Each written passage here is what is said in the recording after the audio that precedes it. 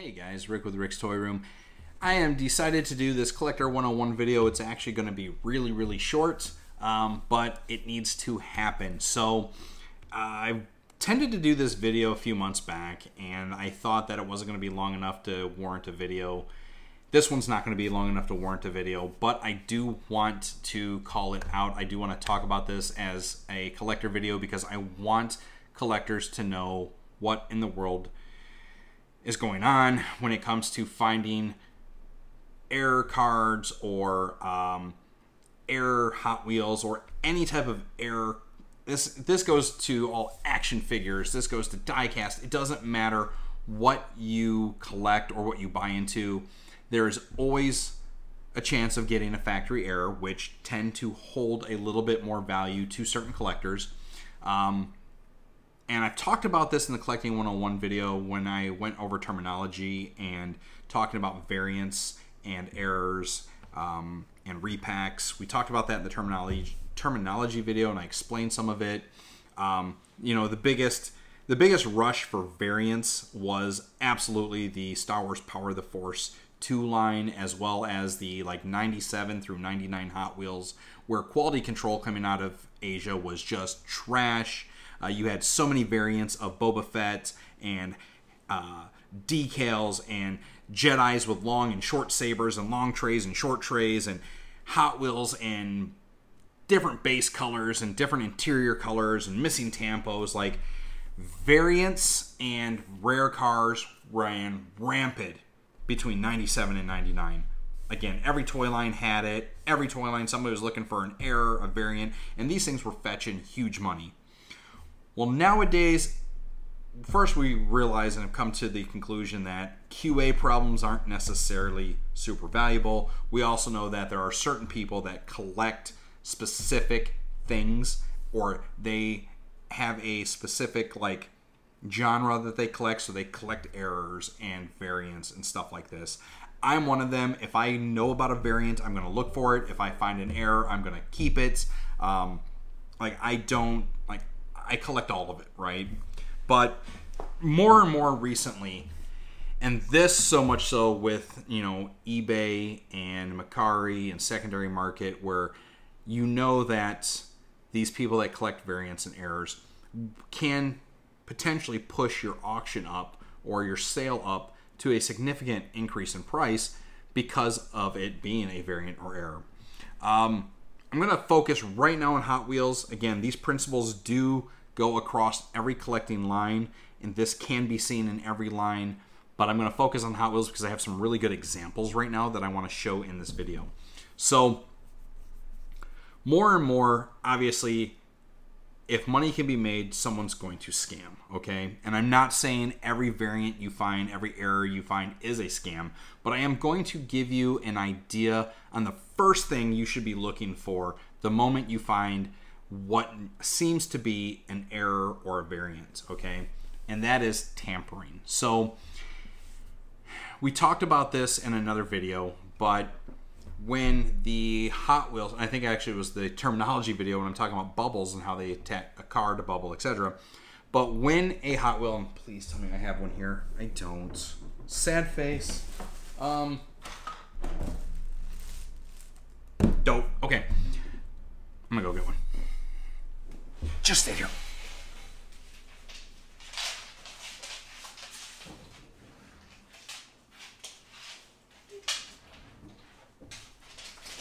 Go figure, the one top in the closet is a Barbie car. So, all right.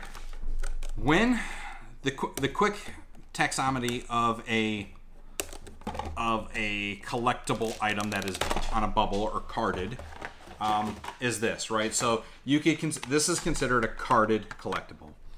It's called carded because the cardboard display packaging backing is cardboard and the item is affixed to said board with a plastic clear bubble and it is heat pressed against the the card. So there is a set of adhesion that is put on the bubble. The card is laid on it. It is pressed across. Heat seal comes down seals this glue, gets it real tight, and that you have a carded product, okay? Well, again back in the back you know in the 90s we uh people that were trying to fraudulently swap out uh, variant hot wheels and variant uh, rare versions of the boba fett's and the jedis there was a huge run of scandalous and fraudulent tampered with bubble products there are a couple different ways you can do this. The first way is you just rip the bubble off, you do whatever you got to do, you put it back, you glue it, call it a day. That's very sloppy, it's very easy to be seen. Uh, what they started getting good at is some people would take an X-Acto knife and they'd run the X-Acto knife right down the card, right between the bubble and the card, and they would split the glue, and then they would remove the car, do whatever they had to do, or remove the action figure, swap the lightsabers, whatever, put it back down, and then they would glue whatever part they cut off. Some of these guys would be really good and they would do the whole bubble. Some of these guys realized that it was very hard to reattach this in a way that couldn't be seen, so they would only do parts of a bubble.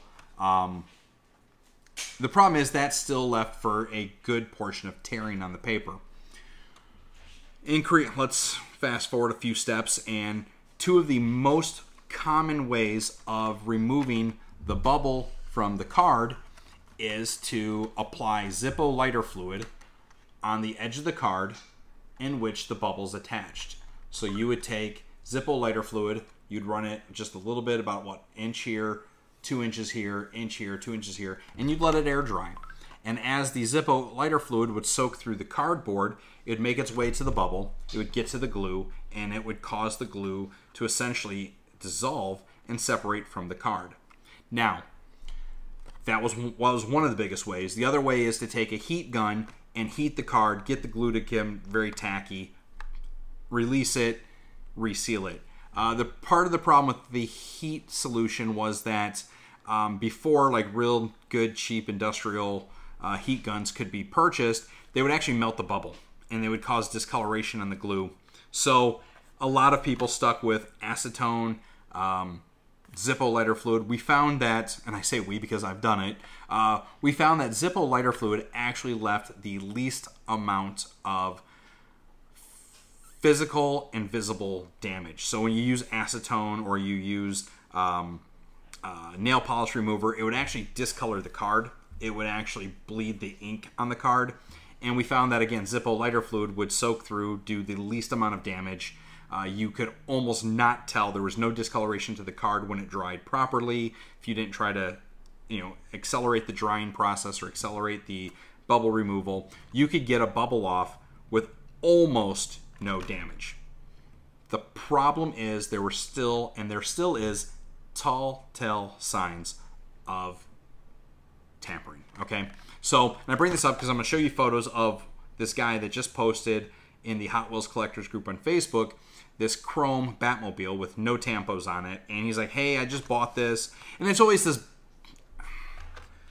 I'm gonna say this with a grain of salt, and if this is you, don't take offense to it, but it always tends to be some bullshit story about, "Hey, I bought this car in a lot." Now, sometimes these guys, scammers, will mix in these variants in a whole lot. Like, oh, I got this whole lot with this variant, so it's going to cost more for the lot, yada, yada, yada. You know, the variant's going to cost X amount of dollars. I'm going to give you this deal. So, like, all the regulars. It's always some bullshit story, right? And, um, it's always like that. Or you'll, again, recently we see people are swapping cars at the store. And they're doing very similar tactics. They are removing the bubble in some fashion. They're swapping the car Maybe they're turning it around. Maybe they're taking out a more valuable card, putting in a much cheaper car. They're going to reseal the bubble and they're going to put it back on the shelf. Now, how we used to do resealing the bubble, and one of the easiest ways and cheapest ways is Elmer's glue. You can use Elmer's school glue, the pure white stuff.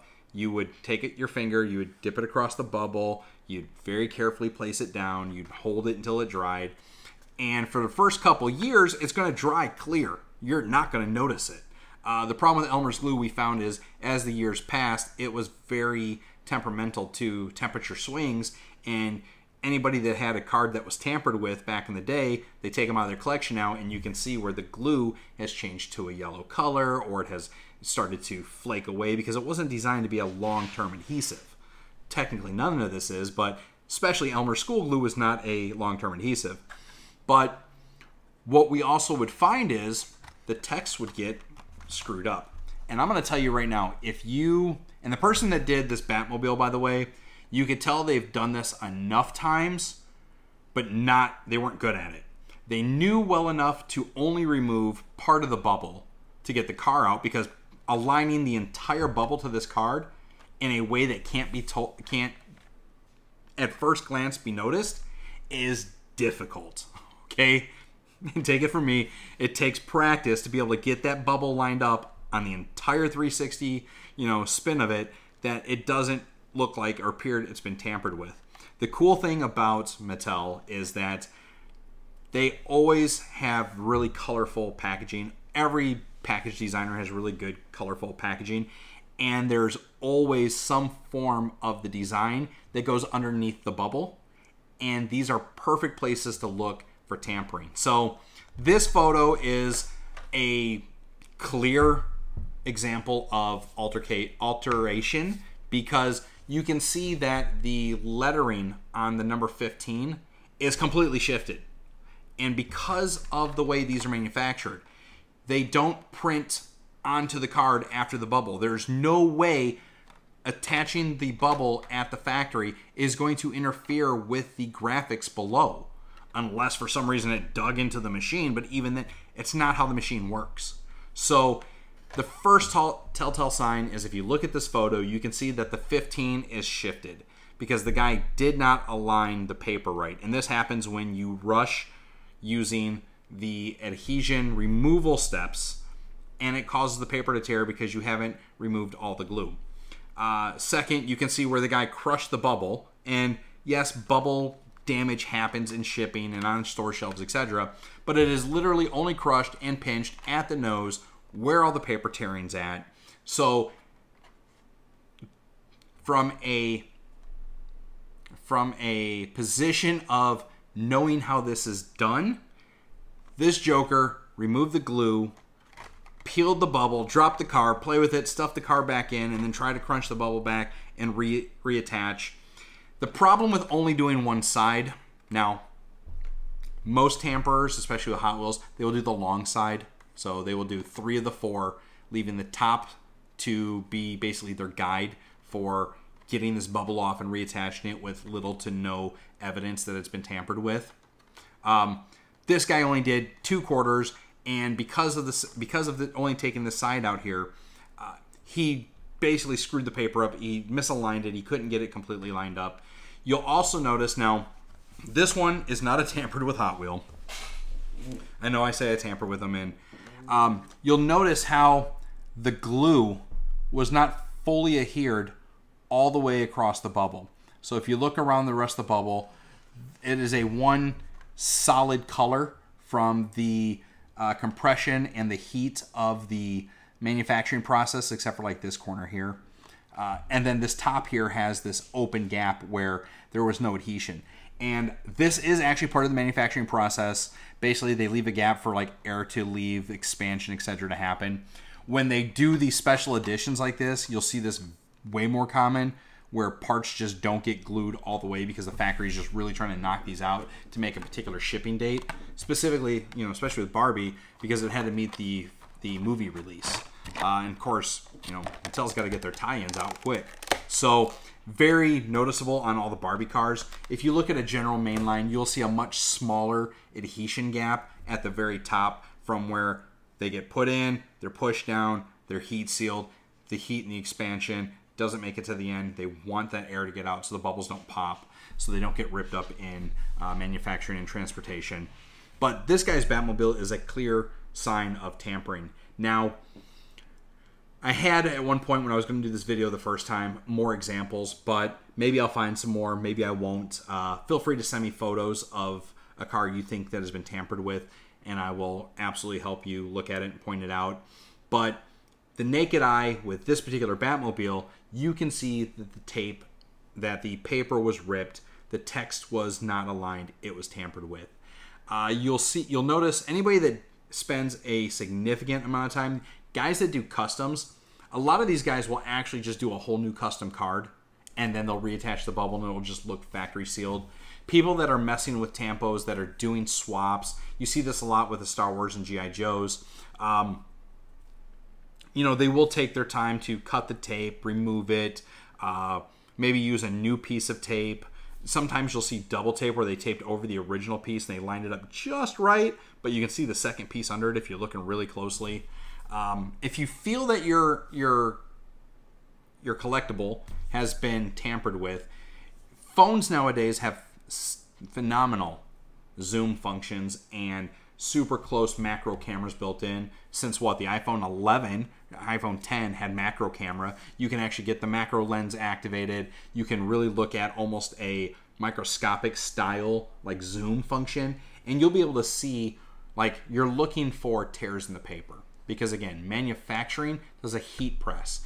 The paper is only in contact with the glue temporarily, and these things don't shift when they they don't attach them like running up a machine. Like they are set, they are pressed, released, moved, next one, right? Um, so there's almost, and of course, like I said, I can't. I have never tested every Hot Wheel, so I'm not going to say this has never happened. But from a factory perspective, you will never see the card back damaged during the, the attachment of a bubble. You will see bubbles attached upside down. You will see cars put in upside down. You will see action figures upside down. You will see bubbles cockeyed because maybe it came off the way it came off the line. 100%, but you will never see that paper torn. So if you want to look for a a tampered with product, if you're like, hey, I got this car, it's got no tampos, or this isn't the right car for the package, the first thing you're going to want to do is you're going to want to look at where the color breaks in the card art touch the uh, touch the glue for the bubble and look for tears in the paper. Smallest tear is going to be a sign that it's been removed.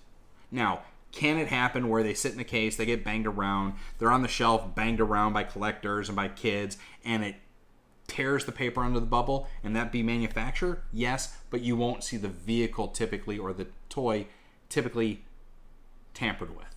You won't see it being an error. The chances of it being an error, factory error or factory variation that also got banged around and the card ripped at store before you got your hands on it, you have a better chance of hitting that $800 million mega millions tonight than you're going to have of finding that scenario in a store. So definitely look, again, when you first get a variant or you get an error, the first thing you want to look for is that paper, right? Look at that seal, look at the bubble, look where it connects. Does this look like it's been peeled up? You will see, and I was showing you this on this Barbie car, and unfortunately this is just really crappy quality control by Mattel. I'm gonna turn the light on because I just lost the sun. Um, but you can see even on this corner that the bubble is actually like lifted. It's got there's a there it is. There's that just slight discoloration where the bubble didn't fully heat seal to the package, probably due to either uh, incorrect glue flow or just not a, a good, you know, adhesion pinch point on the machine when it came out. Top is normally fine. It's always on the edges and the bottoms that if you start seeing that discoloration, if you see like that picked up, it could be because the card's been bent. Uh, this case, the card wasn't bent. It was just really crappy quality control. But look for these things. You want to look for where the glue is not evenly pressed against the card. You want to look for, I mean, you can see where those yellow lines go underneath that bubble. If these lines did not line up, if the yellow was kind of, if one part of the yellow line is on the white coloring, highly probable this car was tampered with. And the person that did it did not have enough patience to make sure they used enough solvent to remove the glue, to take it off carefully off the card back, to reattach it carefully, to take his time lining things up. Um, that's that that that's how you tell if the car's been tampered with. So use this guy's example, take it as a lesson. These are the things you should look for. And again, if you want some help, I can't. I don't have enough tampered. I don't. First off, deal in tampered cars.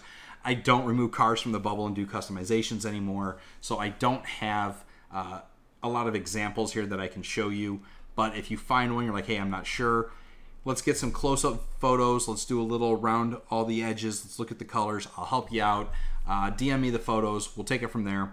But hopefully this video helps you when you walk into a store and you see a Corvette on a Bugatti card and you're like, I found an error. check to make sure some joker didn't card swap you and bring it back. We're seeing this really, really bad right now in the G.I. Joe realm. Hasbro did this and screwed us as collectors when they stopped allowing window packaging. Collectors have been buying uh, G.I. Joe classified off Amazon. They've been buying them at Walmart. They're taking them home. They're cutting the tape. They're pulling the figures out because a lot of these classified guys, for whatever reason, collect loose. Um, they're taking the figures out and they're putting trash back in the package. They're putting random toys in the package. I think one guy got like a baby chew toy out of one that I saw on one of the GI Joe forums where he bought it off Amazon, opened it up, and it was baby chew toys that were chewed on. Um, so Hasbro screwed us with that. So it's harder to tell when you buy a a sealed package like that. Like you got to really look at the tape and try to argue that with Amazon. It's almost impossible. Um, but for anything that you can see through the bubble, you get a visual of the connection to the card. That is how you can see if it's been tampered with. So hopefully this video gave you a little bit of information. Maybe A, how to remove the bubbles and do customizations. B, how people have frauded you. Uh, check your check your old collections to see if you have any with Elmer's glue that is starting to flake, break, and change colors, and maybe you'll find out you got screwed years ago. I don't know, but that's it for this video, guys. It ended up being longer than I thought. Um, appreciate it. As always, like, share, subscribe, follow. Hit me up if you have any questions. Tell me if you've ever bought yourself a tampered with fraud car or if you found yourself a really cool error. I'd like to see your variants. So, um, yeah, that's it. And I got a puppy. All right, guys, I got to go.